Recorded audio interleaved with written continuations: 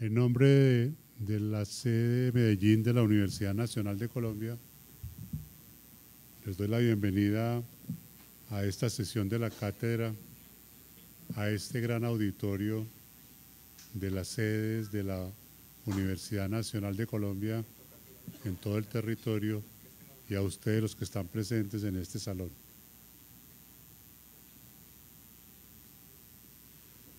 Hoy vamos a tratar el tema de la economía solidaria, de la economía colaborativa. Tenemos una gran oportunidad de hacer una reflexión sobre la situación económica del país, sobre las propuestas que desde la Universidad Nacional de Colombia se hacen para proponer un desarrollo económico del territorio nacional, de las falencias que tenemos, del divorcio que en algún momento tenemos con el país mismo y queremos que esta reflexión sirva para que en el futuro inmediato tengamos una participación mayor en el devenir de la economía colombiana. Hoy tenemos al conferencista central, el profesor Jorge León Pérez, y tenemos a dos panelistas que en compañía con el profesor Pérez van a disertar sobre el tema de la economía solidaria, de la, de la participación de la Universidad Nacional en estos temas. Jorge León Pérez, profesor de la Universidad Nacional, investigador hoy del Grupo Dignidad de la Facultad de Minas de la Universidad Nacional, con 50 años de experiencia en la gestión empresarial del sector privado en funciones gerenciales y de planeación y 35 años de función académica en América Latina y Colombia en investigación y temas de planeación y gestión de proyectos, territorio y desarrollo de comunidades. Son muchos los temas tratados por el profesor y los artículos. Voy a dejar esta presentación así corta. Voy a dejar esta presentación así corta y voy a invitar al profesor Jorge León a que nos acompañe entonces con su conferencia.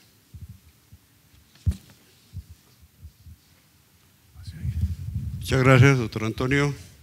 Eh, bienvenidos, muchas gracias por acompañarnos.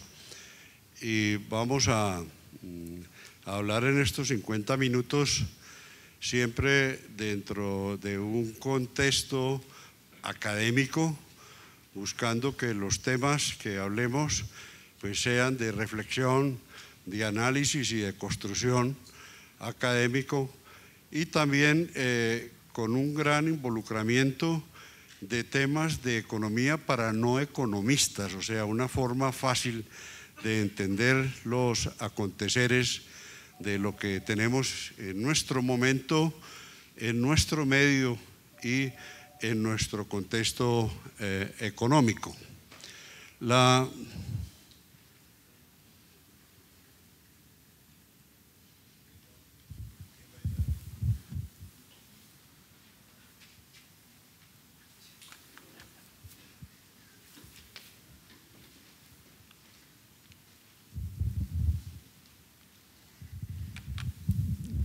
El contexto grande, yo relaciono al país como una empresa que se llama Colombia. De ahí inicio mi, gran eh, reflexión. Y esa gran reflexión de la empresa Colombia, pues la vemos eh, rodeada en todo el contexto de su mapa de grandes retos, de grandes oportunidades, de grandes problemas y un futuro por construir.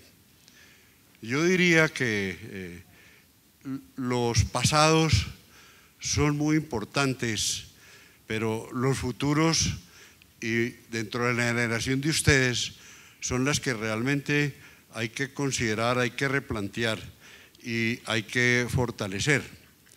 Llamo a esa empresa Colombia como marco de referencia SD. SD quiere decir sin dolientes. O sea que el país necesita un gran aporte, eh, un gran contribución, un gran eh, desarrollo de nuestros recursos. Esa empresa que yo llamo Colombia eh, nos debe proporcionar todos los elementos para que seamos sostenibles tanto a nivel país como a nivel familiar en sus más mínimas expresiones, que tengamos una economía, un medio equitativo y que tengamos y que construyamos un bienestar para todos los asociados. Esa compañía tiene 48 millones de socios. Eso es lo que somos nosotros. Los 48 millones de socios somos los dueños de esas 115.573 centros, 73 hectáreas. Eso no tiene ninguna discusión. Dentro de esas 48 millones de habitantes, hay aproximadamente 12 millones de habitantes que corresponden a la, ruralidad, eh, más o menos un 25%. Y yo diría que la fortaleza que Colombia tiene en el futuro es su población rural y su ruralidad, su territorio. Colombia, su máximo reto es realmente ser bien en los recursos naturales que sean aprovechados a través de los desarrollos futuros. Esos 12 millones de habitantes que viven en la ruralidad, pues viven en unas condiciones bastante complicadas. Eh, toda la vida han sido eh, aisladas, desprotegidas y afectadas por todos los conflictos que en la historia ha tenido el país. Ahora se habla del momento de la ruralidad, del momento de la reconversión del campo, de toda esa cantidad de cosas y es obligación de que realmente eso lo convirtamos en un sueño, en una realidad del país. Tenemos que Colombia en su economía grande eh, tiene unas exportaciones de 31 mil millones de dólares eh, eso era mucho más alto, eh, con un gran desperdicio, es que las bonanzas del petróleo, las bonanzas de los minerales y todas esas cosas sumaban muy grande, se acabaron esas bonanzas y ese indicador, ese volumen de exportaciones se hizo abajo. Cuando teníamos ese excedente de los dólares petroleros, entonces estábamos importando alimentos a la lata y llegamos a exportar, a importar casi 60 mil millones en distintos bienes de consumo. Hoy en día está en 44 millones de dólares esas importaciones en general de comida. ¿A qué nos lleva eso? Que ese territorio, esta sociedad, Colombia, tiene un déficit de 11 mil millones de dólares. O sea, estamos gastando en traer más de lo que realmente estamos produciendo y con una tendencia no dicha y que es muy temeraria en el corto plazo es que el país tiene petróleo para siete años. Eso es totalmente real. O sea que esa balanza de abajo de las exportaciones, la tendencia futura va a ser más decreciente.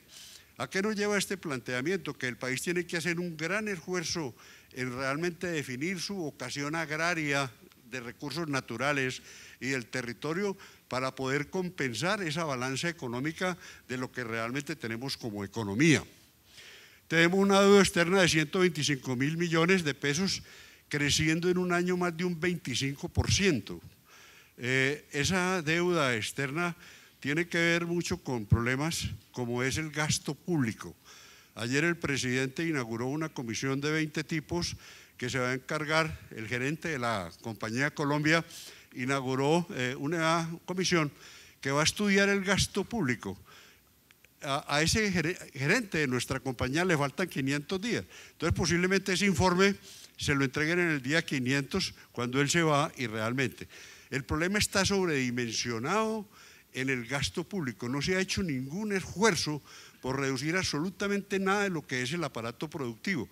Y la tendencia, la perspectiva es que aún le falta crecer con todo lo que tenemos en este momento en un 25 a un 30% casi que estamos trabajando para el gasto público de nuestra administración.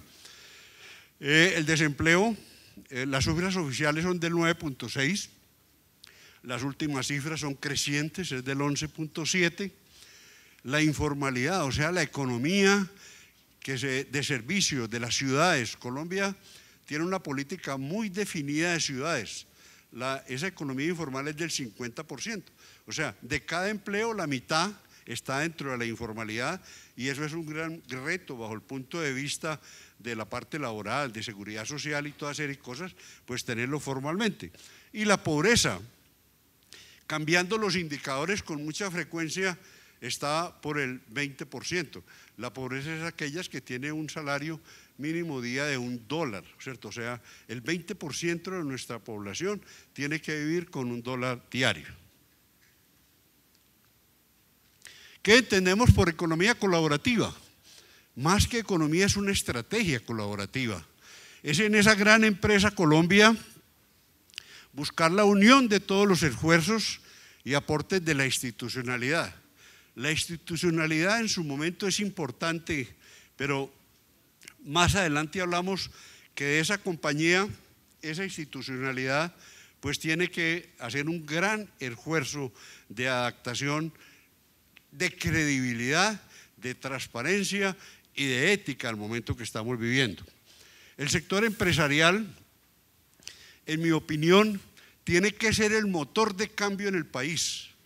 El sector empresarial tiene que ser el aquel que aporte la gestión gerencial, es el que aporte la gran transformación de las comunidades, del suelo, de los recursos naturales, porque es aquel que tiene la gestión de hacer que los productos con su mayor valor agregado lleguen a los mercados reales. Normalmente la institucionalidad siempre piensa en producir, la empresa siempre piensa en tener ventas reales de lo que están elaborando. De las comunidades, yo creo que las comunidades y el territorio son en este momento las grandes dolientes, la gran oportunidad, el gran momento de que ellas realmente se involucren en el proceso y la academia. De la academia hablo más, más tarde porque en realidad la academia está dormida la academia no está haciendo ningún acto de presencia en el momento económico que se está viniendo del país y tiene unos papeles muy importantes que más tarde tratamos de, de anunciarlos. ¿Para qué tenemos eso? Para lograr el bienestar y las condiciones de vida y sostenibles de esos 48 millones dueños de la sociedad Colombia.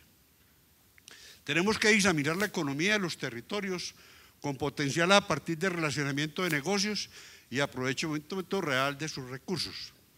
Nosotros somos depredadores de los recursos naturales dentro del sistema de economía que hoy en día tenemos.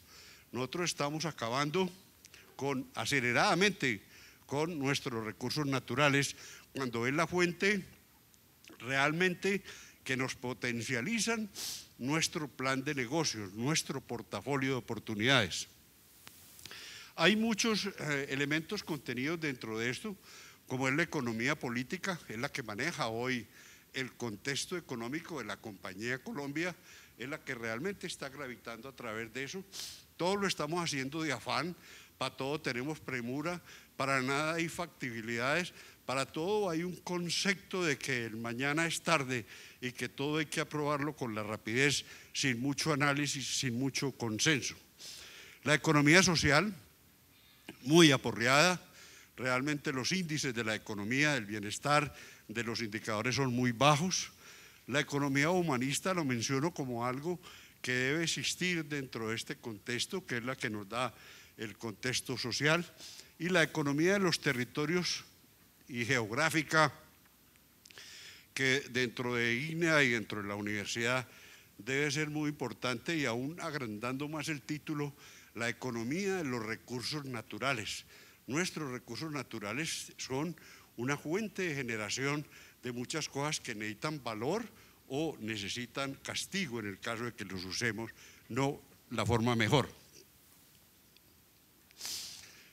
En este enfoque nuevo de territorio, ruralidad, tenemos los cuatro principales actores, los actores públicos e institucionales, con un gran componente que es el financiamiento y la estructuración. También con un componente de planeación de mediano a largo plazo. Es muy triste decir que en Colombia desapareció el concepto de planeación, pero es real. Nosotros no hay ningún contexto de planeación siquiera en el inmediato plazo. Todo el concepto en esta compañía Colombia de ordenamiento territorial se convirtió en un desordonamiento y un caos en el ordenamiento territorial. En el territorio de ruralidad tenemos que hacer mucho por la gestión del desarrollo textible, en la aglomeración productiva, donde entra el sector empresarial y es tener relaciones estables y sostenibles. Lo dije anteriormente, pero en mi opinión, el motor impulsador de todos estos futuros desarrollos tiene que nacer a través de distintas formas de la industria. Todos esos sectores productivos, si no logran tener el valor agregado, el valor ganado en sus elementos productivos, en tener diferenciación y en llegar a economías distintas, aprovechamiento, estamos perdiendo el año.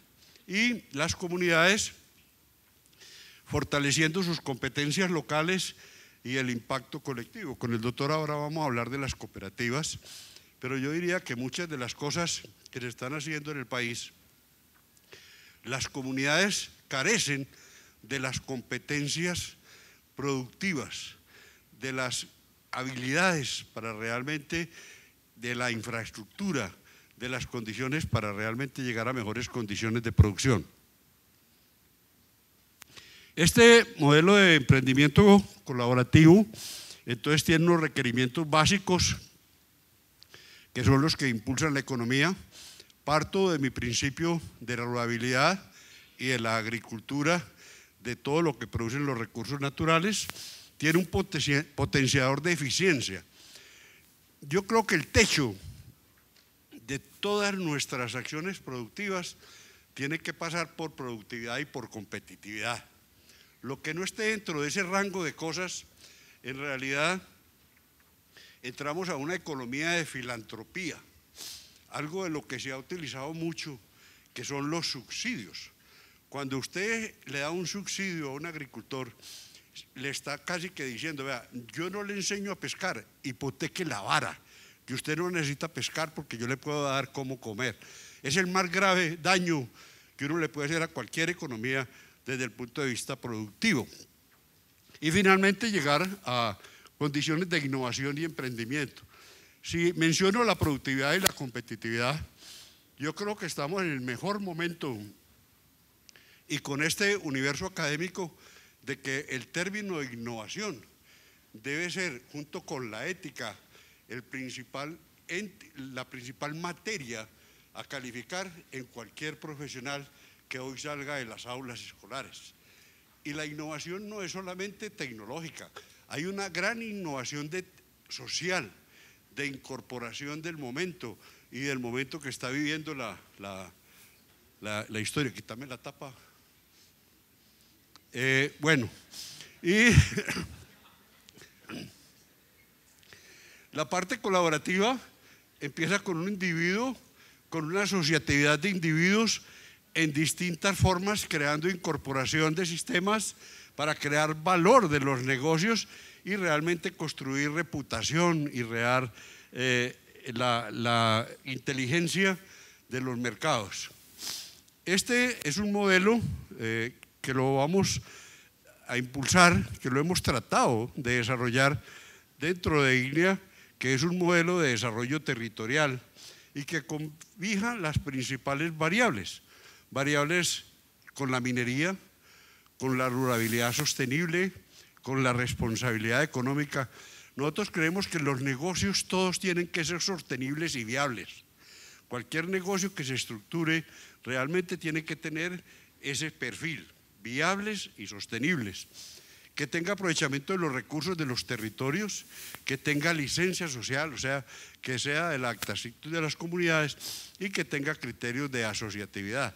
La asociatividad debe ser a través de cadenas, a través de clústeres, a través de aglomeraciones productivas, siempre tratando de acercarse dentro de su mayor valor agregado a los mercados reales. Tenemos emprendimiento como herramientas, conectividad de infraestructura, condiciones de calidad de vida. Yo considero que a las ruralidad hay que mejorarle totalmente las condiciones de vida, la presencia y gestión, la gobernanza, el desarrollo de un sistema de financiero. Yo soy muy crítico del sector financiero y en esta compañía Colombia es muy cruel decir que el sector más rentable que hay en Colombia es el financiero. O sea, eh, el año pasado creció casi en el 7%, cuando el sector agropecuario, el sector industrial, estuvieron entre el medio, el 1 o el uno y medio. ¿Qué quiere decir? No, no le están poniendo el alma eh, al problema, ¿cierto?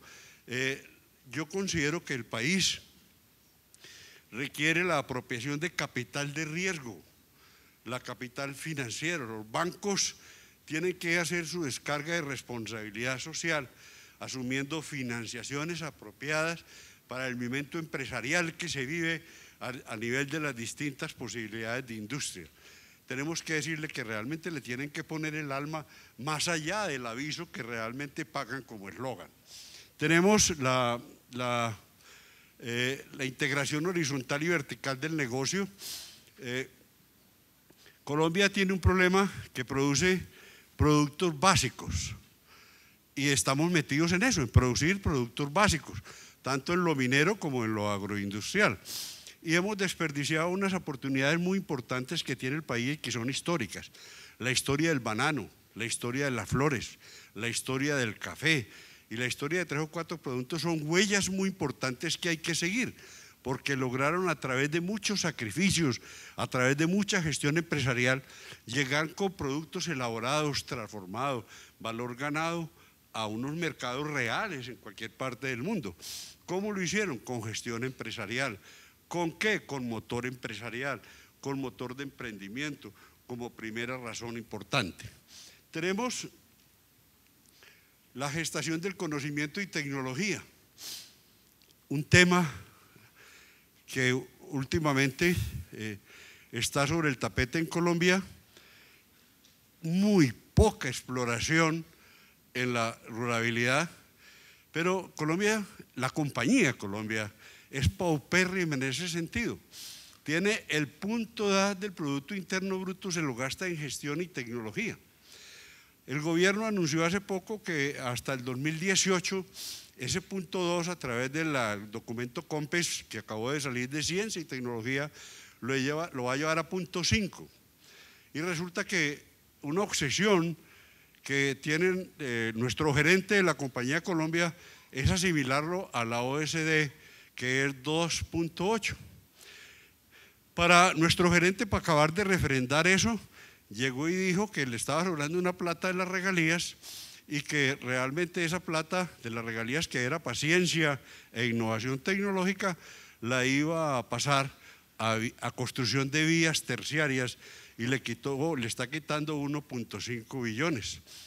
En palabras mías, le quedó faltando el postre dentro de la reparta de la mermolada y la tomó de ese gran eh, portafolio que tenía. Entonces la ciencia y tecnología tenemos que coger las universidades, hacerlas respetar, realmente hacer aportantes de soluciones a eso. Ustedes son los profesionales del mañana y esto tiene que ser totalmente innovador en procesos, en capacidades, en competencias, en compromiso, en ética y en disciplina. La universidad no puede seguir haciéndose. Yo lo comparo con algo similar, que aquí existió un presidente que era caro y escribió un soneto en alguna parte que la llamó La Patria y dijo, Patria, te adoro en mi silencio mudo, ¿cierto? Más o menos así estamos actuando nosotros como academia y como universidad. Eh, también tiene el desarrollo de mercados y el manejo de conflictos. Este manejo de conflictos pues nos está volviendo de todo este tamaño, vamos a tener que ser muy inteligentes. Ya es un proceso que tenemos y en el cual no quiero ahondar con mucha profundidad. Y finalmente, el desarrollo de mercados. nosotros tenemos un gran problema y es que el eslogan es produzca y después vemos cómo vendemos. El producto de todo lo que nosotros hagamos debe ser desde el mercado, en la cadena, hacia la fuente de producción. Tenemos que acercarnos a los mercados reales. Eh, tenemos un problema muy grande y lo llamo el propósito número uno. Nosotros no sabemos cuánto vale el país. Nosotros no sabemos cuánto vale el recurso país. Y yo diría que es un momento en que como universidad, como investigación, tenemos que trabajar a ver realmente cuánto vale eso. Cuánto vale nuestra tierra, cuánto vale nuestro trópico, cuánto vale nuestras aguas, cuánto vale todo lo que realmente tenemos. Nosotros somos unos hijos de ricos que malgastamos porque siempre mi papá tiene más para nosotros en la casa. Es el momento de realmente saber cuánto vale lo que es la economía del país y aproximarnos a cifras eh, reales. Eh, yo creo que mm, esta cifra es muy temeraria. Eh, en determinado momento dije que era irresponsable, pero es la primera vez que hay una cifra de cuánto vale el país. Entonces, mientras haya una segunda, yo soy el rey, yo la puse. Y digo que el país vale 61.869 millones de dólares. Esas son cifras en millones, en un campo optimista. Y bajo 41.246.00 millones de dólares. Es una cifra escandalosa, pero nosotros tenemos que saber cuánto vale el país. Y esa cifra es aproximada. Es la primera vez que alguien dice cuánto vale el país. Cuando haya la segunda, yo ya acepto todo lo de la irresponsabilidad. Eso es sin considerar áreas y riquezas marinas, valores prediales urbanos, infraestructura, riqueza hídrica, trópico y múltiples recursos. Es una aproximación a través del valor del suelo, de unas reservas que encontré de carbón, algo de petróleo. El problema del petróleo en la economía colombiana es de alto peligro porque no hay petróleo sino para siete años. El problema de gas, también hay problemas de gas. Las reservas de oro, algo de materiales de construcción y otros minerales. Entonces, como propósito importante es que Jorge León le dijo cuánto valía el país con ciertas consideraciones. Es la primera vez que alguien habla de esa cifra eh, en el país. Eh, dentro de eso, ¿cuánto vale el país? El país tiene un flujo de dinero de 125 billones de pesos. Eso es más o menos lo que genera la economía para que nos gastemos. Existe dentro de esta compañía Colombia una gran desviación de dinero. Está sobre el tapete, todos los periódicos, todos los noticieros no hablan sino eh, de eso. Y todo a raíz de que resultó un problema con los brasileros que valía 12 millones de dólares. Y están tapando un problema que valía 7 mil millones de dólares, que era Reficar, ¿cierto? O sea, los 12 millones frente al problema de Reficar es, un manto, es, un, es una, una, cortina de humo eh, insignificante. Nosotros estimamos, y las cifras, y es publicada por la prensa, de que en Colombia se pierden 50 billones anuales. 50 de 125. Tienen distintos flujos en la economía colaborativa teóricamente del país. Eso equivale a, un billón de pesos semanal. La inversión social en el país vale 30 billones de pesos. ¿Qué quiere decir? Se está perdiendo más allá de lo que estamos invirtiendo socialmente en el país.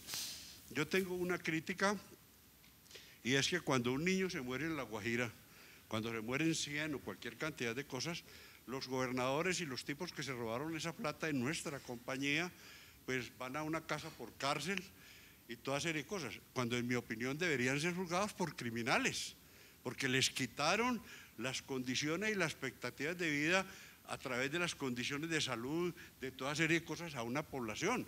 Son criminales, no por el hecho de embolsillarse en un dinero, sino por lo que dejó de percibir esas comunidades por ese dinero y así sumémosle a toda la cantidad de cosas. Cuando construyen cinco veces el acueducto de Buenaventura, cuando hablamos del de Santa Marta que lo han robado, cuando hablamos de toda esa cantidad de cosas, no le quitaron dinero, dinero lo embolsillaron. le cotizaron las expectativas de vida a una población que habita y por eso se debían juzgar. Luego sale que eh, la reforma tributaria, por ejemplo, ahora que llamamos estructural, que estructural yo creo que no tenía ni las hojas, valió 7 billones de pesos. O sea, nosotros no somos capaces de combatir un problema de 50 y entonces hacemos un esfuerzo y creamos uno nuevo en nuestra compañía de 7 billones de pesos. Eh, el sector empresarial que tiene una responsabilidad muy grande en este momento y que la debemos retomar. El problema no es la institucionalidad sola, es el sector empresarial. El 80% reconoce que en sus planteamientos de negocios, en su portal de negocios, el 80% de alguna forma llega a implicaciones que tienen que ver con esta formación de esos 50 billones de pesos anuales. O sea, esto es integral, institucionalidad eh, es eh, la parte de la industria y nosotros por bobos. Por decirles algo con lo que pasa con esa plata que es muy importante, uno dice, no, pues es que los están juzgando, los están cogiendo. Vean lo que ocurre. La judicatura tiene una cartera de 48.345 procesos que vale más o menos 20 billones de pesos, 20 billones de pesos de los 50 anuales. Y aquí dice, 11 billones condenados a punto de salvarse del pago por extinción de tiempos. Pagos que prescribieron la judicatura del 2015, 6.6 billones. Cuentas de cobro del Ministerio de Justicia que van a prescindir, 4.4 billones ¿Cuánto vale la recuperación anual? 8 mil millones de pesos, el punto 0,00001% de toda serie de cosas. O sea, tenemos mucha bulla, tenemos un eslogan de justicia, de investigación, de fiscalía, de contraloría, pero el indicador es que no hace nada. Es el policía que se hace el bobo, que realmente no, absolutamente nada, porque la plata no se recupera, la plata se nos juega. Y eso es parte de la institucionalidad y el manejo que, tenemos. También tenemos otra cosa importante que hay que construir y se llama el capital social del país.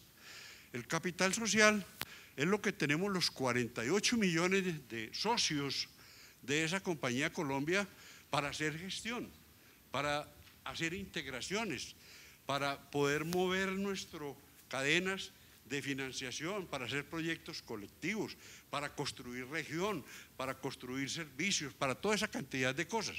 El capital social en Colombia es paupérrimo.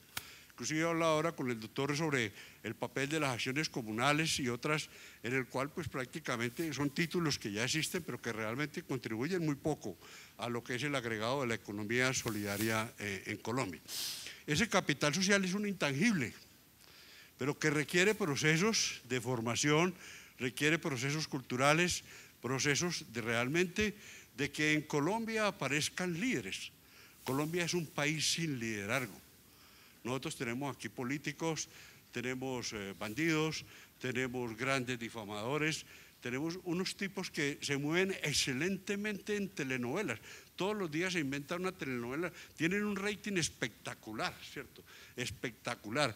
Todos los días de alguna forma se inventan una cosa para aparecer en la presa. La última que se inventaron era que el Papa eh, trae la cortina de humo más grande al país. Nos van a poner a hablar del Papa dos meses. Los otros problemas van a desaparecer de nuestra lejerga, de nuestro territorio y posiblemente el país, en vez de consagrárselo al corazón de Jesús, va a ser el país consagrado a todos los santos.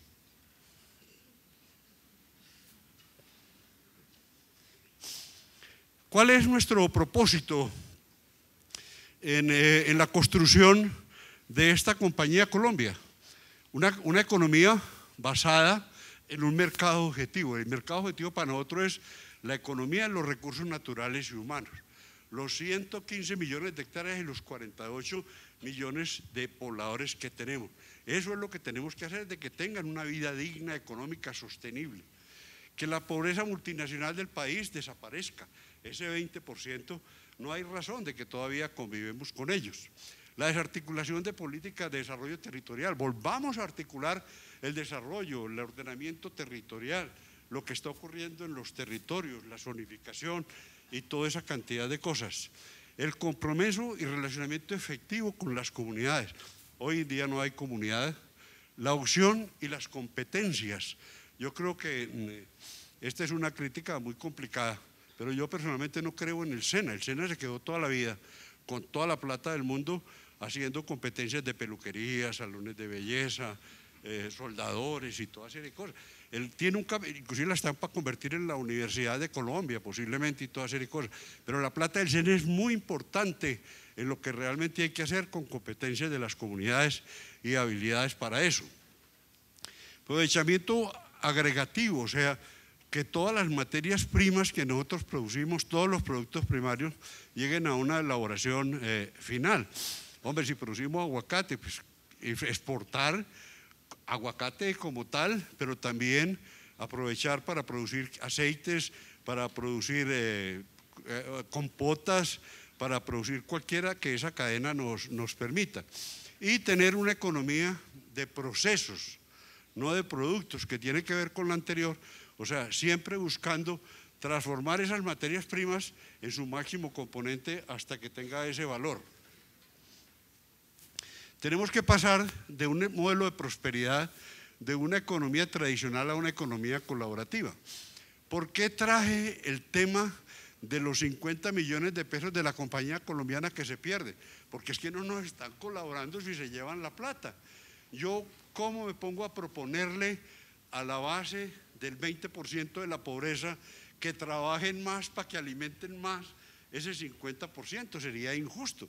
Entonces yo tengo que decirle a esos señores y con carácter de urgencia, llamándolo a que realmente ese desfase del dinero entre a la economía colaborativa del país y realmente nos ayude en la transformación económica y social que este país requiere. También un Estado eh, que comprenda la, y la sociedad la seriedad y responsabilidad del momento y compromiso a largo plazo. Yo no quiero hablar del momento actual, sería, no está dentro del tema nuestro, pero yo diría que el país hay que redefinirlo, hay que replantearlo, hay que tener confianza y todos tenemos que hacer los aportes para que todos salgamos, porque a todos nos va a tocar vivir en el futuro, en el inmediato. Ya nosotros tenemos que construir lo que va a ser ese país inmediato y realmente ayudar a esos sistemas económicos. Tener un Estado, una, un organigrama de esa compañía Colombia eh, más acorde con las regiones. Hoy en día, eh, en el edificio que construimos para la Sociedad Colombia, todas las decisiones se toman allá en el décimo piso. Todas están centralizadas. Todas prácticamente lo que ese señor diga y el resto nos tenemos que ayudar en esta compañía Colombia lo que diga. No hay decisiones apropiadas en las regiones. No hay legitimidad social no hay defensa de los territorios, no hay responsabilidad social y no hay debida diligencia desde lo social y comunitario. Y necesitamos que realmente esa parte rural de esos sueños se conviertan en realidad. Ese fundamento de la economía colaborativa pues tiene que comprender la parte solidaria, la parte cultural y la parte respeto. Los principales elementos son de productividad. Yo considero que, eh, y desde la universidad, es el componente más importante. En estos días, el, un programa del gobierno que se llama Siembras hizo un incremento muy grande en el principal problema que tiene el país, que es el maíz. El país es un deficitario, se gasta 5 millones de, 5 millones de toneladas al año y produce 1.5. El principal problema productor del país eran los cereales, incluyendo el maíz. Y entonces produjeron maíz. Se lo fueron a vender a las compañías de concentrados y ninguno lo compró.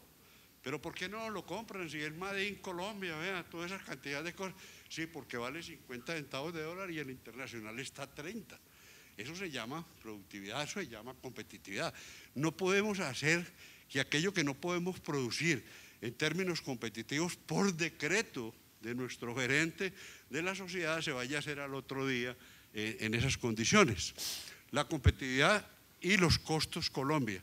Ahora hablo de los costos Colombia. La calidad y los protocolos, la innovación.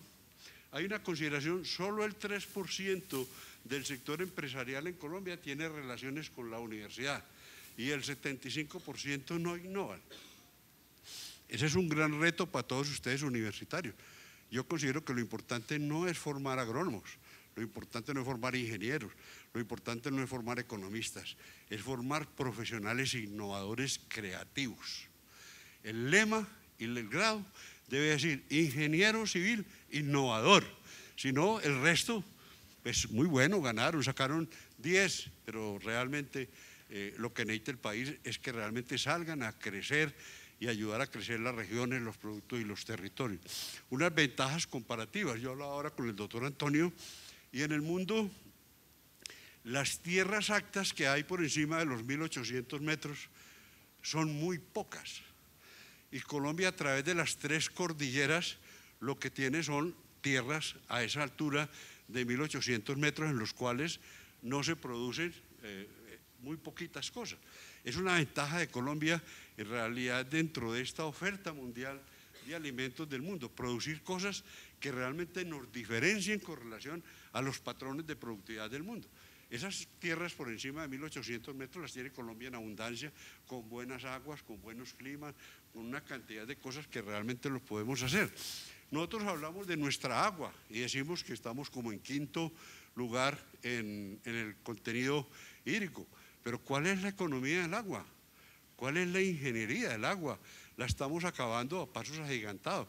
O sea, eh, dentro de unos años, pues prácticamente ese recurso sin saber cuál es su costo, sin haberle incorporado en la economía de la producción, se nos va a acabar.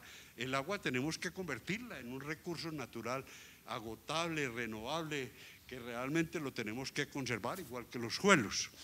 Eh, la inteligencia de mercados y el mercado interno y exportación. O sea, si el país no logra parar ese volumen de importaciones de 44 millones de pesos, estamos locos. ¿Qué tenemos que hacer? Producción nacional. ¿Para qué? Para sostener y realmente dar ese empleo. ¿Y qué tenemos que hacer además? Incurrir en los mercados internacionales a exportar distintos productos.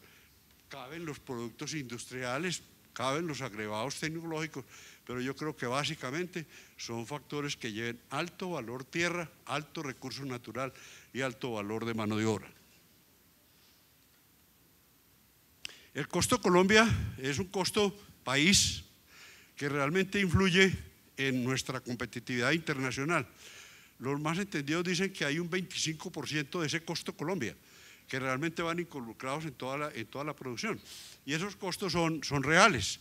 ¿Por qué? Porque tenemos la precaria infraestructura, tenemos una de las energías más costosas de países comparativos, una burocracia ineficiente, hay algunos indicadores, por ejemplo, como cualquier trámite se demora el triple o el cuádruple con relación a países pares del mundo y competencia nuestra.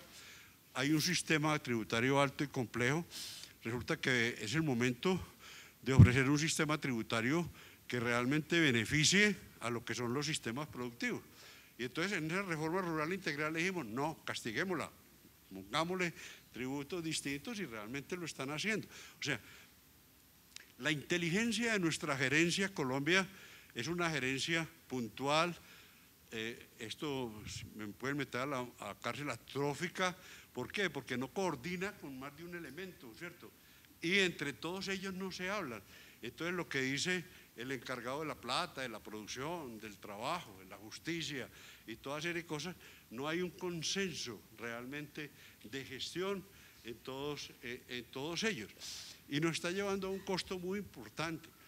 Colombia puede tener en el inmediato futuro demandas internacionales por más de 15 mil millones de pesos por la torpeza en la gestión de nuestros funcionarios. Hay problemas farmacéuticos de patentes, hay problemas de recursos naturales que se han otorgado y al otro día llega otro y la niega dentro de esa junta directiva que tenemos en esa compañía Colombia y realmente después de haber dado derechos solamente por un decreto los quitamos y eso va a las cortes internacionales, va a los acuerdos internacionales y en nuestro estimado vale 15 mil millones de dólares las demandas que nos pueden valer en el corto plazo.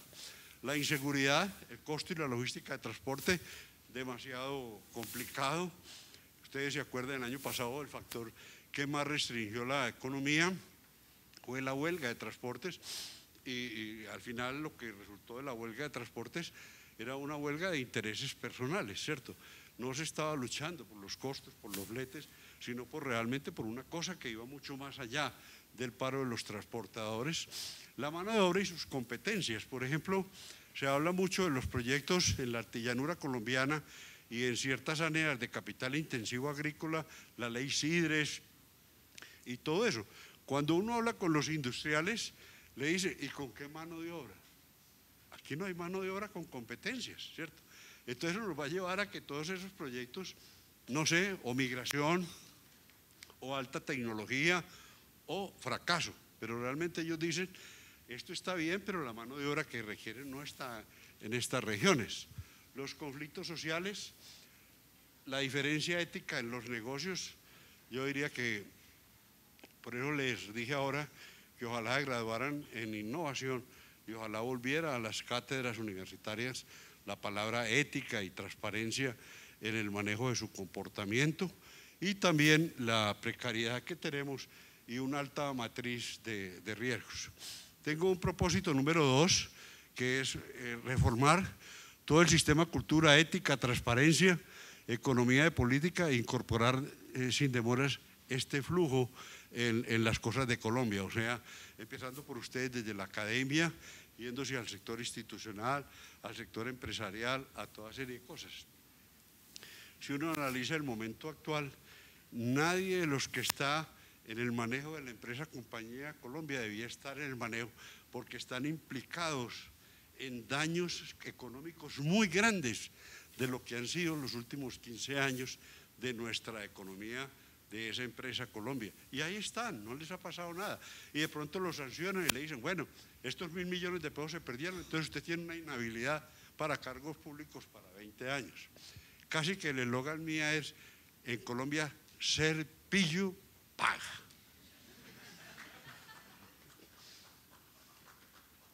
Nos tenemos que meter en un tercer propósito y es donde estamos la universidad, donde estamos eh, INEA, donde estamos el Centro Observatorio y donde están todos ustedes con estos mensajes. Primero, el país tiene que ser un país de emprendimientos individuales y colectivos, y más colectivos.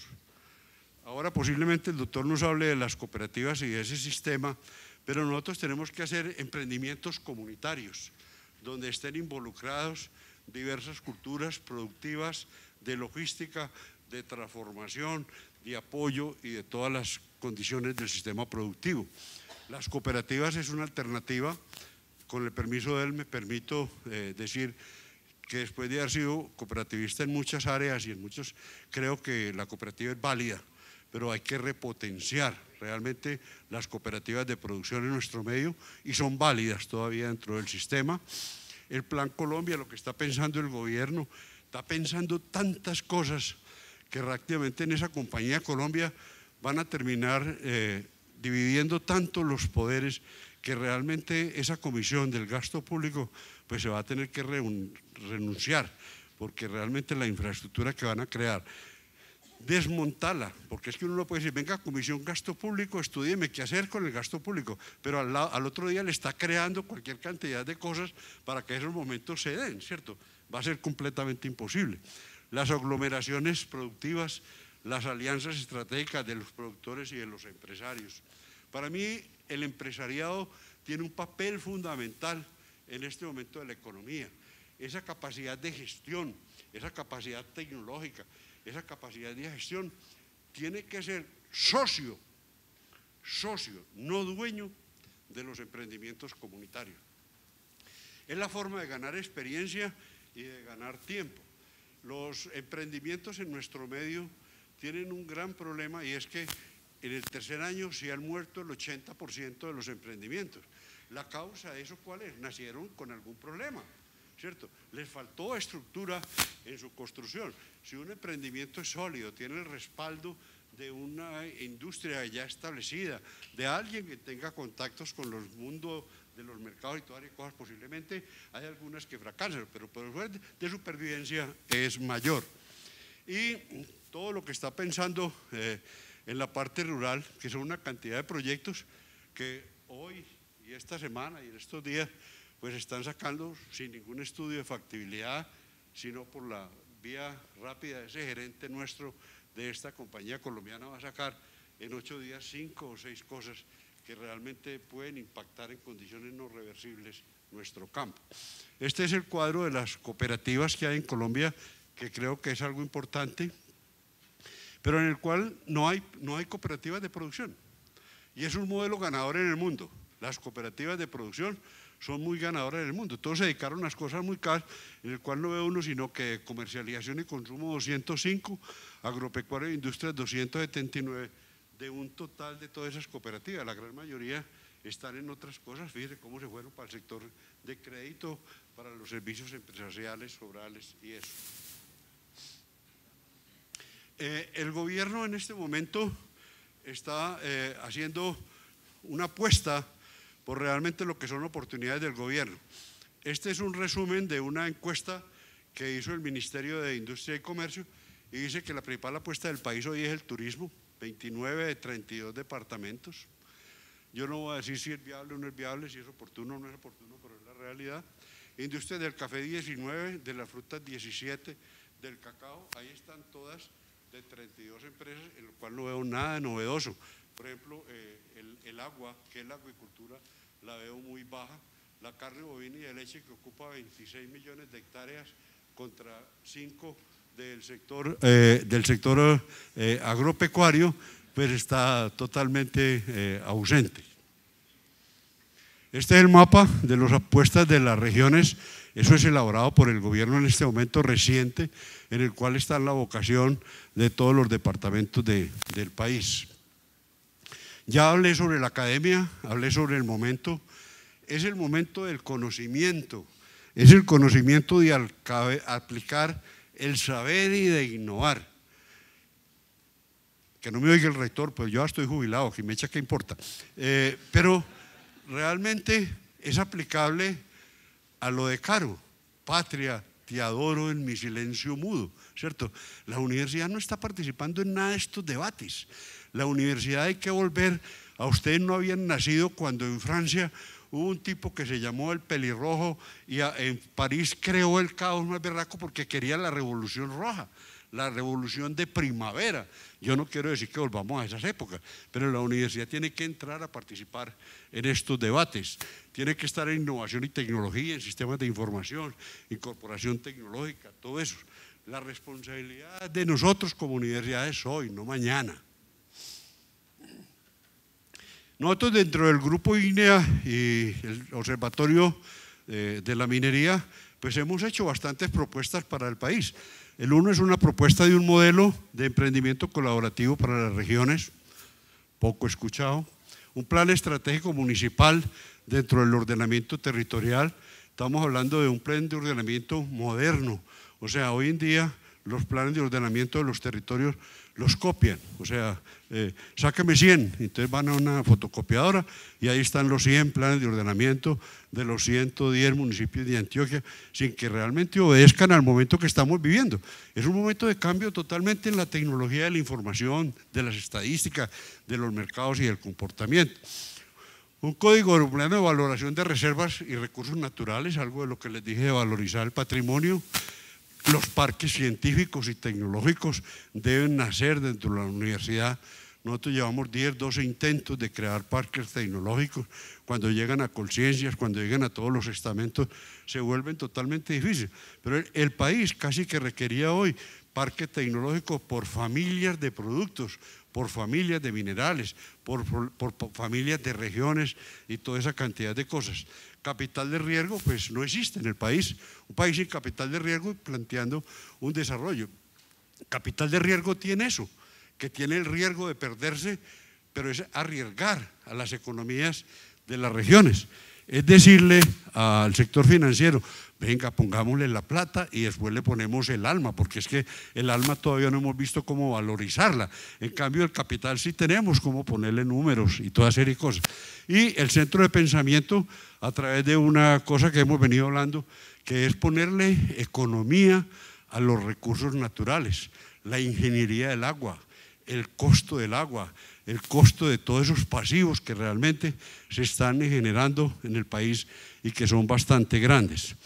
Un resumen de esto es el modelo de emprendimiento colaborativo, es el modelo, de, eh, el modelo cooperativo de Menco, en el cual los ejes principales son las cadenas productivas y la empresarización, formando eh, eh, unos ejes importantes en el modo de ordenamiento del emprendimiento, la estructura región, el modelo de educación social y cultural y la debida diligencia y con todos los elementos contenidos dentro de ese modelo, el modelo de ordenamiento territorial de los municipios, en el cual nosotros creemos que pueden haber varios modelos, pero un modelo es anticipativo, o sea, antes de los problemas, cuando se ven venir, un problema correctivo adaptativo, o sea, cuando ya tienen problemas y realmente lo, podemos corregir, y finalmente un modelo de remediar la resolución de, conflictos. Los fondos de capital de riesgo, la comisión de, eh, valoración de recursos y reservas. ¿Qué espero? ¿Cuál es nuestra gran propuesta? Nuestra gran propuesta es al final de toda esta acción, de todo este cambio cultural y de mentalidad, es poder decir, nuestra empresa Colombia no es una sede sin dolientes, sino que es una sede es una empresa con dolientes. Alguien me decía, es que es sin democracia y CD es con democracia. También puede ser aplicable en, en nuestro medio. Finalmente, esto es de 1950, es de una rusa científica que vivió en los Estados Unidos y que solamente lo traigo como documento de, de lectura para ustedes.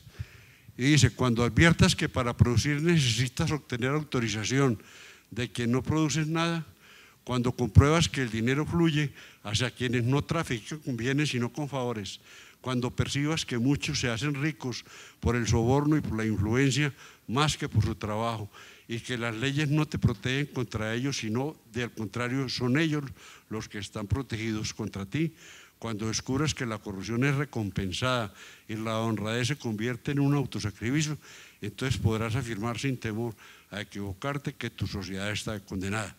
Yo creo que tenemos que hacer porque esa definición no sea aplicable a Colombia. Bienvenidos al futuro, jóvenes.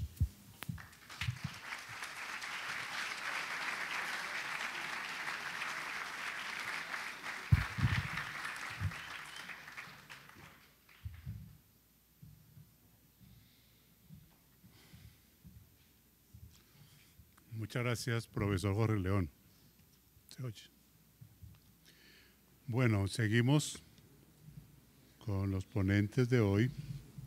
Antes del panel, tengo mucho gusto en esta secuencia de temas sobre la economía y después de la presentada por el profesor Pérez, de presentar a Luis Fernando Gómez Giraldo él es el actual director ejecutivo de la Confederación Antioqueña de Cooperativas, CONFECOP.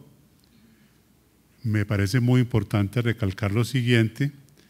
Actualmente hace parte del Consejo de Sede de la Universidad Nacional de Colombia, sede Medellín, en representación de las asociaciones o instituciones de la organización social y productiva.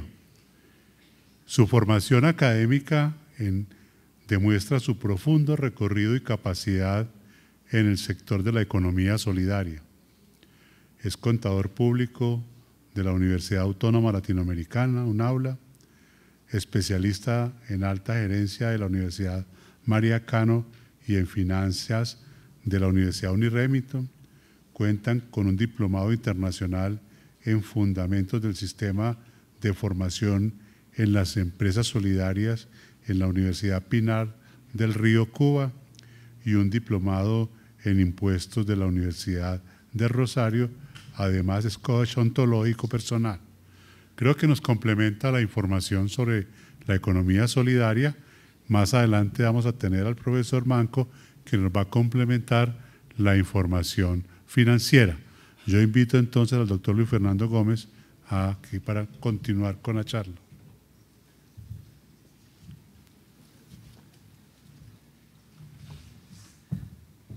Muy buena tarde. ¿Cómo estamos? ¿Qué tal si nos ponemos de pie un momentico? ¿Les parece? Está muy cómoda la silla, pero es que la tarde... Bueno, eso nos ayuda a animarnos un poquito. para que hablemos de la economía solidaria. ¿Qué tal si saludamos al vecino de la izquierda, al de la derecha?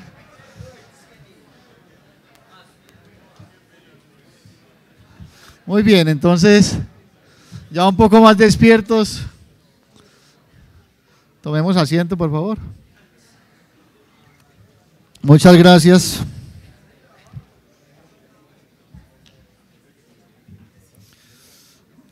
Bueno, jóvenes, a mí me invitaron a que les hable un poco de lo que estamos haciendo desde el cooperativismo para apoyar este desarrollo económico y social del país, que bien ya nos describió el profesor Jorge, para dónde va, por qué caminos anda.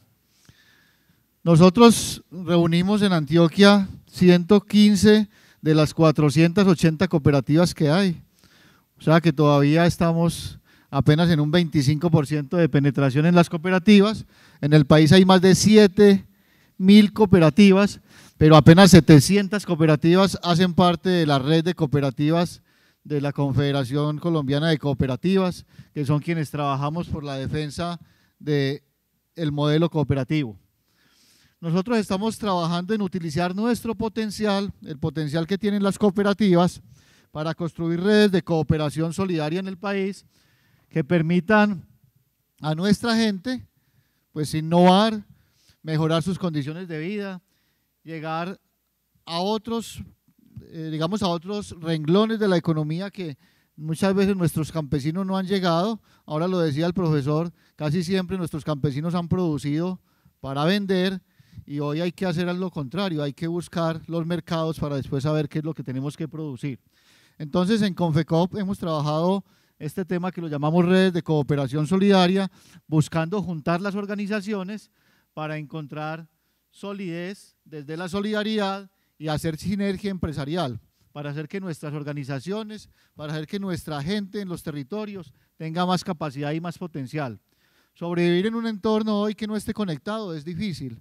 Entonces lo que creemos es que las organizaciones que ya hoy tienen base social deberían conectarse entre sí para tener sinergias que nos permitan superar estas condiciones que aún hoy tenemos en nuestro país.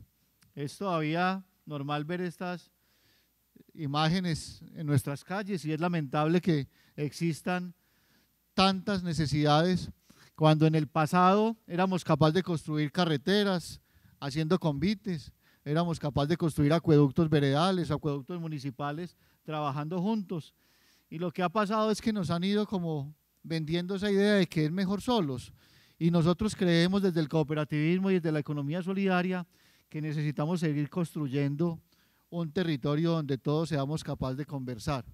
¿Cuántos de nosotros ya vivimos posiblemente en un apartamento y no conocemos ni siquiera al vecino de enseguida, ni el de abajo, ni el de arriba? Simplemente entramos a nuestro apartamento y ya y nos hemos acostumbrado a vivir de esa manera. Entonces nos preguntamos, ¿y qué pasó con los lazos que nos unían? ¿Cuándo fue que se reventaron esas fibras de la solidaridad de nuestra comunidad y por qué hoy estamos tan individualizados? ¿Ustedes saben cuánto dura un potrico o un ternerito en alimentarse solo después de que nace? Un día. Se demora menos de una hora.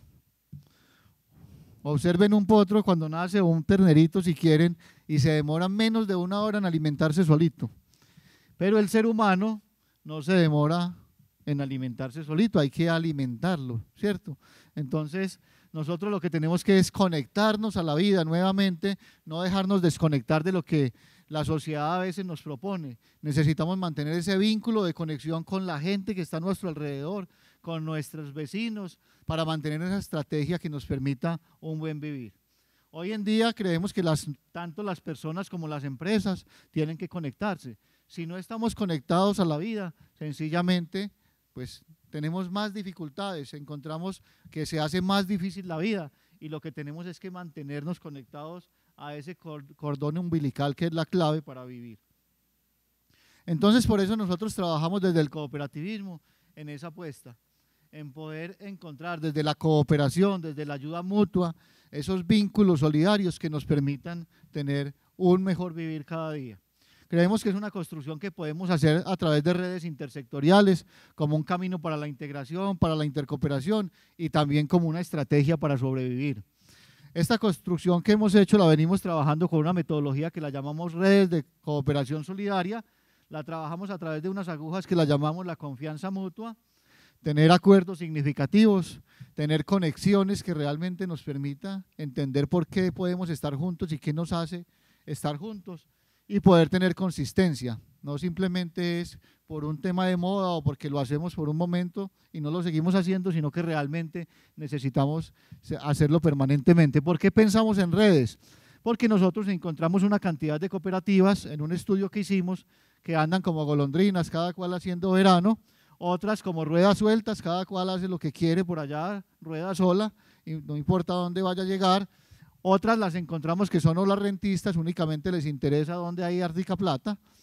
Y así no funciona. Tenemos que encontrar este escenario que es el escenario ideal, que es donde encontremos que el cooperativismo, la economía solidaria pueda trabajar como un sistema, realmente conectados en redes. Hicimos una investigación de algunas experiencias que hay ya en el país y en el mundo, como los clusters, los PRODES, diferentes metodologías que realmente están funcionando. Y encontramos que también empresas que se compiten entre sí, además de competirse, también hacen economía colaborativa, hacen redes de cooperación solidaria y han hecho compras, por ejemplo, como en el 2013 de 28 mil millones de pesos, que les permitió unos ahorros de mil millones. Entonces, estos personajes que también dicen ser los dueños del país han hecho redes. El problema es que han hecho es redes para concentrar riqueza. Y nosotros lo que estamos proponiendo es que hagamos redes para distribuir riqueza. Por eso no es extraño ver estas compañías que cada vez más concentran una gran cantidad de redes, de imágenes corporativas, pero únicamente para concentrar riqueza. Entonces nosotros lo que creemos es que debemos crear circuitos económicos para el desarrollo, partiendo desde los productores, ayudando a que desde aquí haga hayamos, tengamos una cadena que podamos llegar a la transformación, a la comercialización y al consumo, manteniendo un circuito económico solidario donde no sean unos dueños y otros trabajadores, sino donde todos seamos socios, donde realmente todos nos podamos convertir en empresarios desde la solidaridad. Entonces, al trabajar en redes, pues creamos sinergias que integrando sus elementos son mucho más que las partes. Aquí tenemos los tres tipos de redes que venimos construyendo, sectoriales, redes entre asociados, lo que son las cooperativas y redes para el desarrollo local. Esta es la metodología que utilizamos y no me voy a detener en ella. Simplemente hacemos algunos ejercicios de perspectivas, de tendencia, de macroeconomía, para poder mirar hacia dónde es que vamos, construimos proyectos juntos. Por ejemplo, lo que ya venimos haciendo, esta es una experiencia en Don Matías, en Don Matías, perdón, es una red de 14 organizaciones campesinas que antes producían tomate, pero se lo vendían a un intermediario. El intermediario compraba el tomate, lo traía a la central mayorista en Medellín y los que tienen tiendas en Don Matías venían a la central mayorista a comprar tomate para vender en sus tiendas. Entonces se encarecía el producto. Hicimos el estudio, constituimos esta red de 14 organizaciones productoras de tomate en Don Matías que se llama Proyecto La Paz y hoy en día el 60% del tomate que ellos producen simplemente van y lo entregan a las tiendas. Venden más barato, ganan más, el, eh, comercializador, el, dueño de la tienda compra más económico, por lo, por lo tanto le vende más económico al consumidor, nos estamos ahorrando todo el tema de logística de transporte que antes se perdía y estamos todos teniendo mejores condiciones. En Granada también construimos una red que se llama Gran Sol, son siete organizaciones que vienen trabajando juntas para consumir, producir, transformar. En las cooperativas también encontramos un modelo, eh, nos pusimos a pensar cuántas cooperativas compraban productos de seguros para ellas mismas, para sus asociados, para sus bases sociales, y encontramos que estas cooperativas compraban 5 mil millones de pesos al año. Entonces nos pusimos a la tarea y constituimos una sociedad para comercializar seguros. El primer año vendimos 4.970 millones con unas comisiones de 875 millones y un retorno de 417.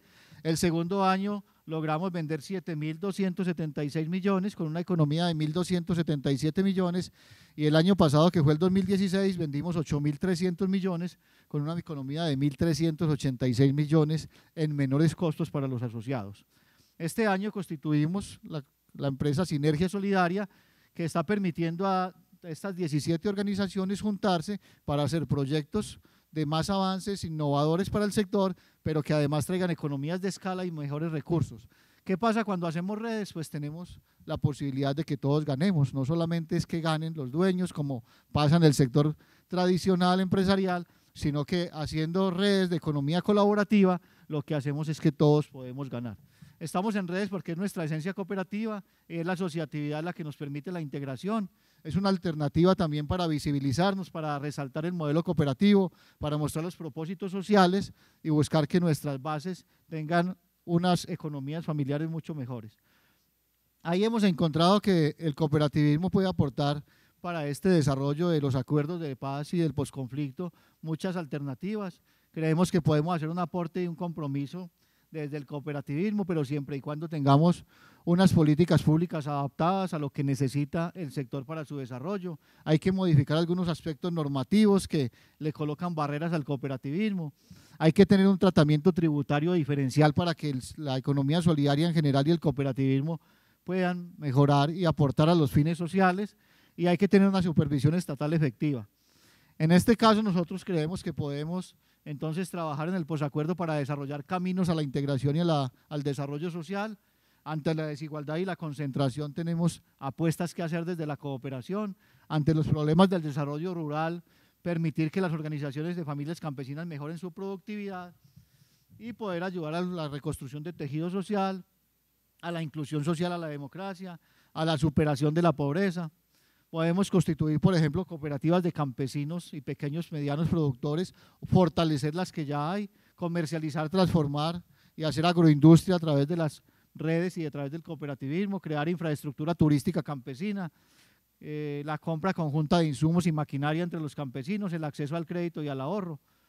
Podemos tener cooperativas de profesionales que presten asistencia técnica que hoy necesita el campo, cooperativas para la administración de cuencas de agua, cooperativas de producción para jóvenes recién graduados con formas innovadoras de emprendimiento, por ejemplo, para turismo ecológico, cooperativas de producción de mujeres jóvenes y de mujeres en general que se unan en forma asociativa para que creen empresa en el agro o para que fortalezcan lo que ya tenemos, cooperativas para hacer eh, sostenible el desarrollo en los territorios. Hoy, ¿qué tenemos nosotros? Y creemos que este es el modelo que, al que le estamos creyendo que debemos trabajar. Cooperativismo para el desarrollo agropecuario. Hoy en día tenemos campesinos que trabajan solitos todavía, que están cerca de una cooperativa agropecuaria, de una asociación, pero trabajan solos, salen al mercado a comprar y a vender solos, salen a las entidades con actividad financiera a obtener un crédito o a llevar un ahorro también solos.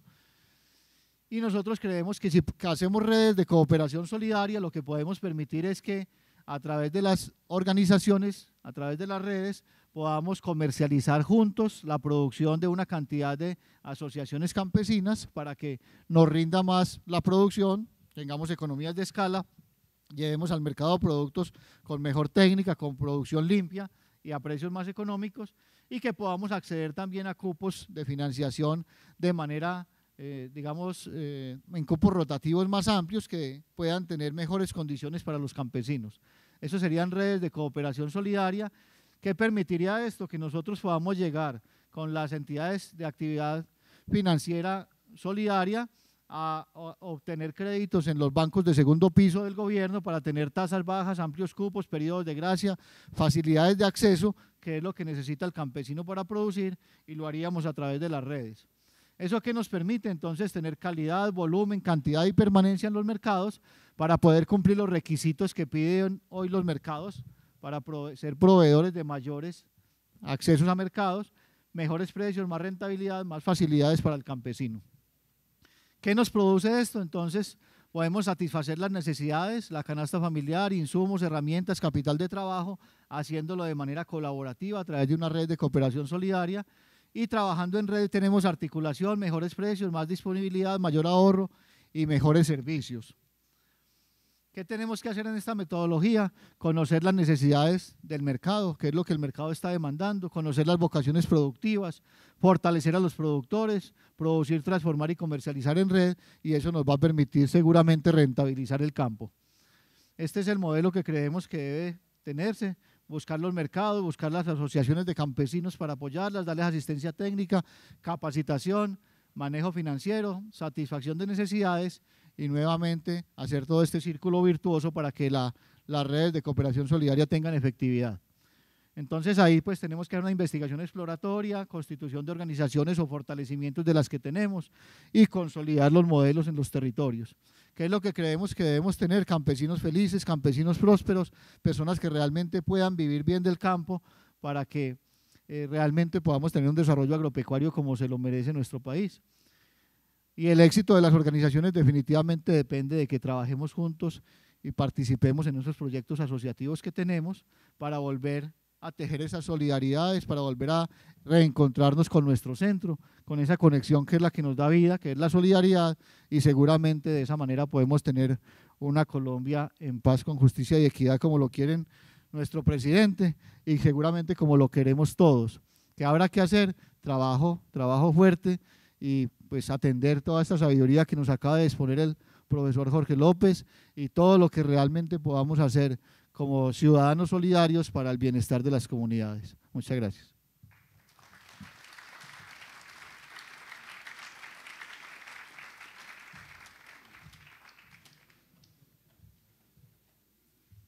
Bueno, muchas gracias a Luis Fernando Gómez Giraldo.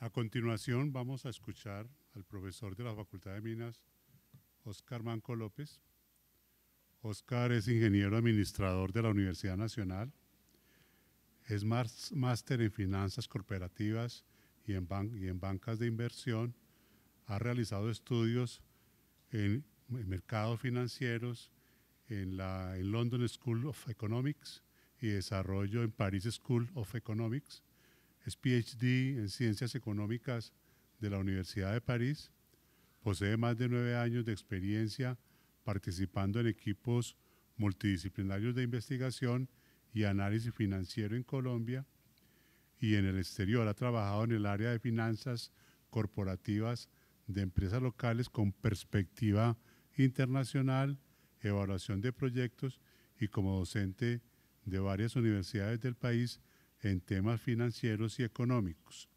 Yo creo que es una tercera visión de esto de la economía colaborativa que queremos sembrar en ustedes. Vamos después del, del receso a hacer un panel con ellos tres. Por ahora entonces invito al profesor Oscar Manco que suba acá.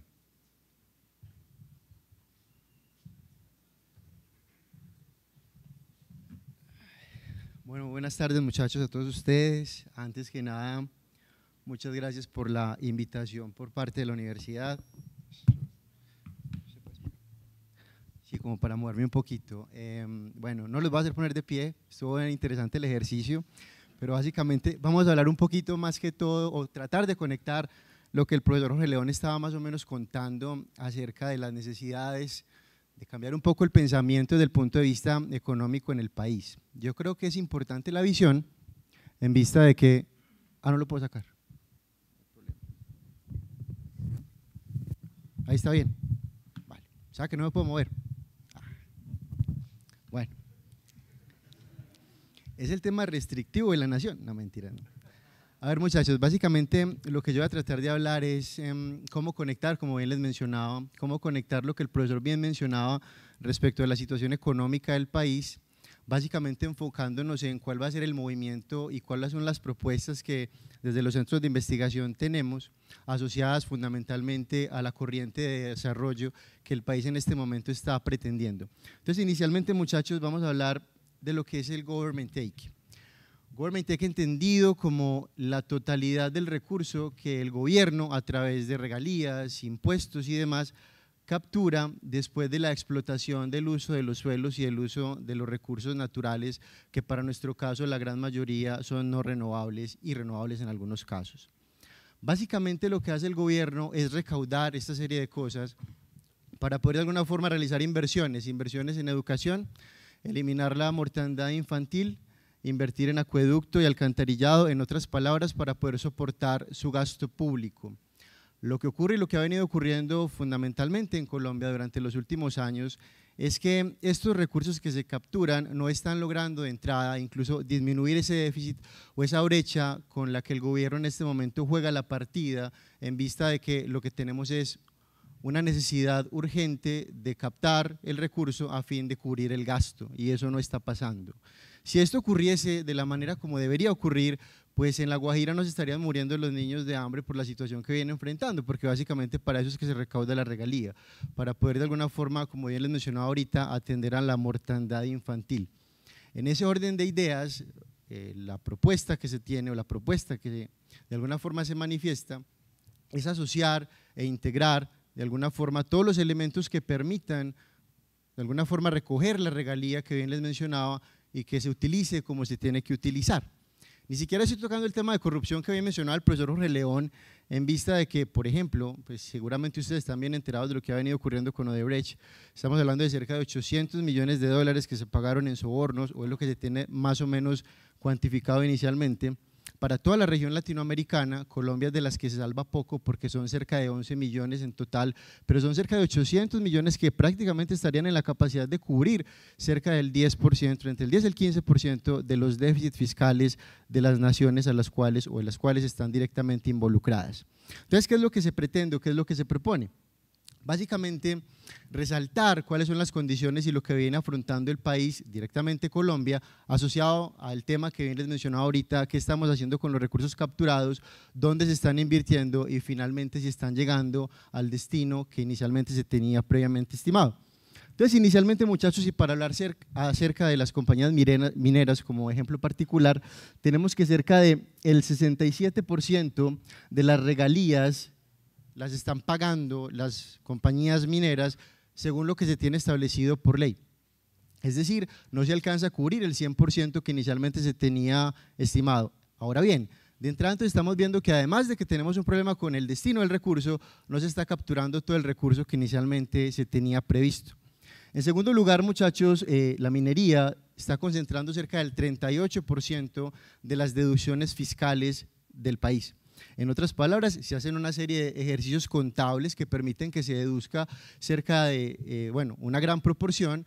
Y el total de las deducciones de la nación, el 38% está concentrado en el sector minero y el sector de hidrocarburos, con lo cual, nuevamente muchachos, el ejercicio contable permite que las deducciones sean bastante representativas y por ende tampoco se logre capturar la totalidad del recurso.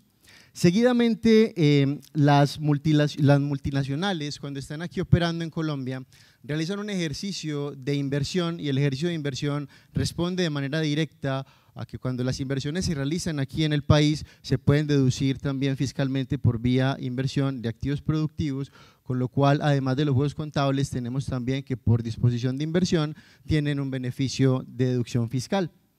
Cerca del 100% de la inversión es recuperada por ellos y además de lo anterior, Colombia está entregando una rentabilidad cercana y en promedio al 13%, lo que quiere decir que si un inversionista está poniendo aquí 100 pesos, se está llevando además 13 que le estamos dando, luego obviamente todas las deducciones fiscales.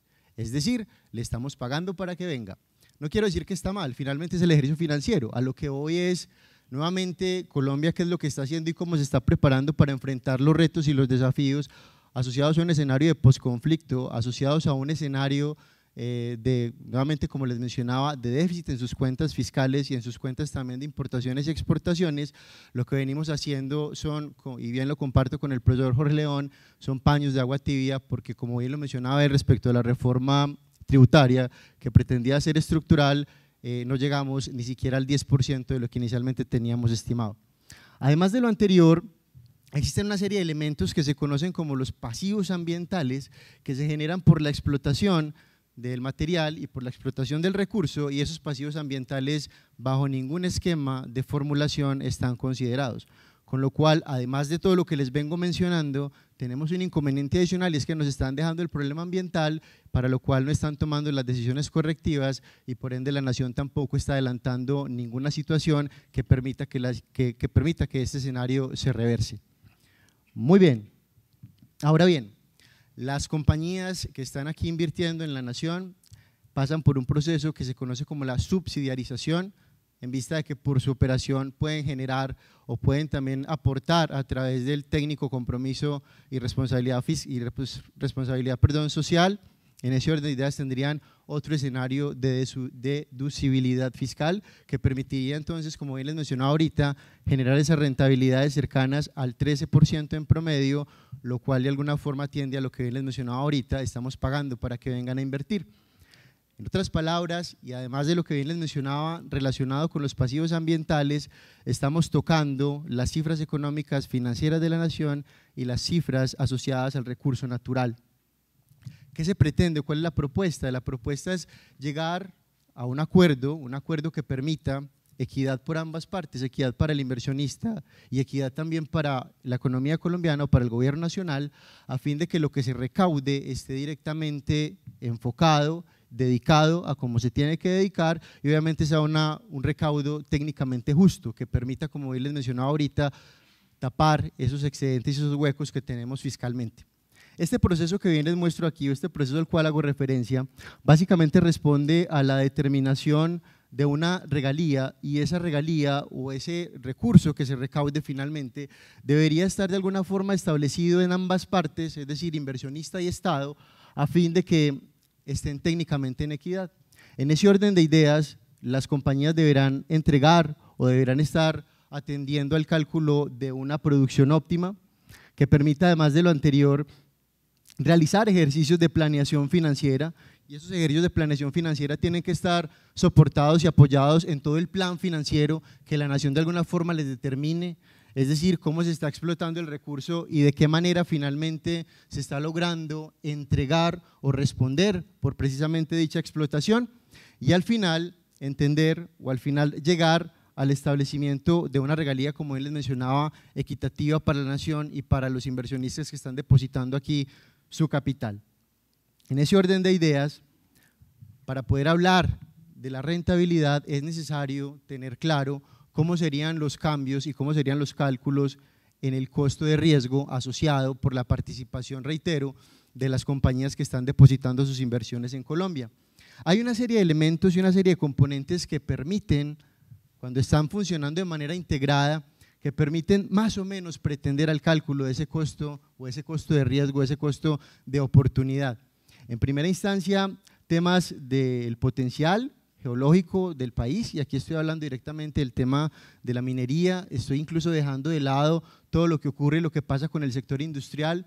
Colombia en este momento pasa por un problema de déficit en su balanza comercial, quiere decir que estamos importando más de lo que estamos exportando y eso es lo que permite que los indicadores de crecimiento no reaccionen de la manera como el gobierno inicialmente lo tiene previsto. Para tal fin, existe también seguramente un estudio que se asocia directamente a los componentes industriales. Es decir, no solamente el sector minero afecta de manera directa, sino también el sector industrial. Es bastante gracioso cuando, por ejemplo, hay un partido entre Argentina y Colombia que dicen que van a jugar los gauchos contra los cafeteros. Nuestra economía no está fundamentada en el café. Eso fue un cuento y un cuento de hadas que ya pasó hace mucho rato. En este momento nuestro potencial de exportación está fundamentado en el sector petrolero y en el sector minero, con lo cual es muy representativo y por eso lo traemos a colación. ¿Cuál es la responsabilidad de ustedes que en este momento son la cara y la cara inmediata de lo que va a pasar con el país? Tratar de tecnificar ese país que a gritos urgentemente reclama una tecnificación no solamente del sector agropecuario, sino también del sector industrial porque la concentración de la inversión, como bien les mencionaba, debe pretender y debe buscar una reclasificación, una diversificación en ese portafolio de generación de ingresos a fin de que tengamos, por ejemplo, o por lo menos una exposición cada vez menor a los niveles de riesgo sistemáticos o los niveles globales de riesgo de las economías en general. Noten, por ejemplo, lo que está ocurriendo con Venezuela. Venezuela en este momento lo que tenía era básicamente una concentración casi en su totalidad de recurso proveniente de petróleo, con lo cual, si el precio disminuía, pues lo que teníamos era una afectación directa a sus cuentas nacionales. Lo que no queremos en Colombia es que eso siga ocurriendo, porque claramente cualquier situación de estas nos afecta de manera muy directa. Además de lo anterior, el tema de la estabilidad política, políticamente, pues Colombia, si lo contrastamos con una situación, por ejemplo, como la situación venezolana, estamos en un momento de estabilidad política, a pesar de todo lo que estamos identificando no solamente en medios, sino en el boca a boca, en el día a día. Pero en esa orden lo que pretende y lo que seguramente se va a pretender es tener un escenario adecuado para las inversiones en el país. Luego lo anterior, los niveles de corrupción, aquí sí tenemos mucha tela para cortar y obviamente porque está de moda, ¿cierto? El tema es que, como bien, lo, mencionaba el profesor, nos van a tener ahorita dos meses hablando del Papa y seguramente estos temas que son de tanta trascendencia para el país van a pasar de largo. No podemos caer en esa trampa y en ese error porque básicamente, reitero, ustedes son en este momento la cara inmediata de la crítica y la cara inmediata de lo que se puede hacer, por lo menos desde el punto de vista de levantar la mano y decir no estamos de acuerdo. Además de lo anterior, los regímenes laborales el sector minero y fundamentalmente el tema del oro ha pasado por un tema de cooperativismo bien interesante. Hace más o menos 10 años, cómo legalizar el oro era una cosa bastante complicada, lo sigue siendo de hecho, pero por lo menos hay ideas y propuestas que pretenden agrupar a los productores de oro, a los pequeños productores de oro, en el Chocó, en las zonas en las cuales se produce, a fin que de alguna forma logren ese nivel de cooperativismo que conecta con la exposición pasada y que de alguna forma se permita tecnificar aún más el procesamiento de dicho eh, insumo, de dicho material. Ahora, esas ideas son buenas y yo creo que se tienen que resaltar y potencializar. Finalmente el país surge y necesita este tipo de cosas porque si no vamos a permanecer en la misma situación. Además de lo anterior, ¿cómo están los regímenes fiscales? Fiscalmente Colombia en este momento pasa por un problema, como bien les mencionaba ahorita, se está gastando más de lo que se está recaudando. Eso era técnicamente la necesidad de la reforma tributaria, que de alguna forma pretendiera disminuir ese déficit o esa diferencia entre lo que se gasta y lo que se recauda. Sin embargo, siendo muy objetivos, la reforma tributaria lo que permitió fue de alguna manera eh, tapar o cubrir el déficit generado por la caída en los precios del petróleo y en ese orden de ideas lo que pasó con Ecopetrol. Es decir, Colombia o la reforma estructural tributaria que se realizó, lo que hizo fue de alguna forma reemplazar los ingresos provenientes de Ecopetrol por la caída en el precio del petróleo y con eso simplemente estamos tapando un hueco pero destapando otro y de esa manera nos vamos a seguir yendo si la situación continúa como está. Además de lo anterior, ¿cómo está el tema de la regulación? La regulación en Colombia, por lo menos para el inversionista, trata o pasa por ser una regulación técnicamente estable, no obstante, si lo comparamos con una regulación, por ejemplo, como la chilena o como la canadiense, de hecho, es bastante interesante porque si ustedes de pronto revisan textos en internet, incluso se van a encontrar con que a nosotros nos visualizan como si fuésemos el país, básicamente, como si fuese izquierdista en el tratamiento del inversionista y derechista, eh, izquierdista en el tratamiento del inversionista que viene del exterior y derechista en el tratamiento del inversionista que está localizado en Colombia, mientras que si vamos a Chile, ellos se autodenominan derechistas con el que llega a explotar el recurso, porque la regulación es bastante fuerte y bastante rigurosa, en contraste obviamente con la regulación colombiana. Todos estos elementos simplemente integrados, como bien les mencionaba, permitirían de alguna forma establecer por lo menos un precálculo de la tasa de retorno o de las tasas de rentabilidad. Entonces, como bien les mencionaba yo, básicamente lo que tenemos es la identificación de los pasivos ambientales mineros generados simplemente por el uso del agua, el mal uso de la misma.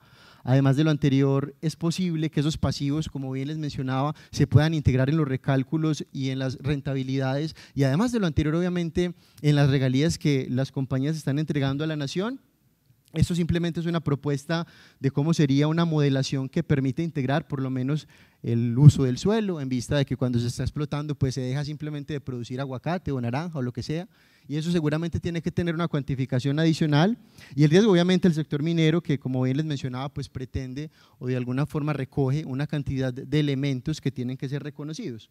En ese orden de ideas, esta propuesta lo que permite es simplemente recalcular un costo de oportunidad que recoja todos estos elementos que bien les mencionaba y en ese orden de ideas se afecten significativamente además de la rentabilidad de las compañías, también las cifras de la nación. Todo esto permitiría al final que se calcule o se trace de una manera más directa y más comprometida cuánto se está entregando al final en términos de recaudo por el Estado, que no solamente es el tema de renta, sino como bien les mencionaba, por el uso del suelo y por el uso y la explotación de los recursos naturales, para que como bien les mencionaba, el Estado de alguna forma quede por lo menos si se sienta en términos equitativos tranquilo, al igual que el inversionista. Muy bien, como bien les mencionaba, ya para finalizar, el tema de los pasivos ambientales mineros, que aquí pueden ustedes identificar una serie de simplemente un listado, pero algo por, por mencionar. Existen además de estos muchísimos más. ¿De quién es la responsabilidad? Puede ser del Estado porque es permisivo o puede ser del consumidor porque está recibiendo un producto transformado, los que están comprando las cadenas y los dijes y todo este tipo de cosas, o paga finalmente el contaminador por el usufructo. Es una discusión filosófica bien interesante que seguramente va a estar de boca en boca en las próximas ruedas y en las próximas sesiones de discusión. Bien, muchísimas gracias.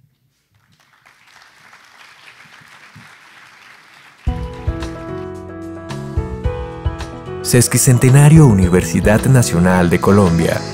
Patrimonio de todos los colombianos.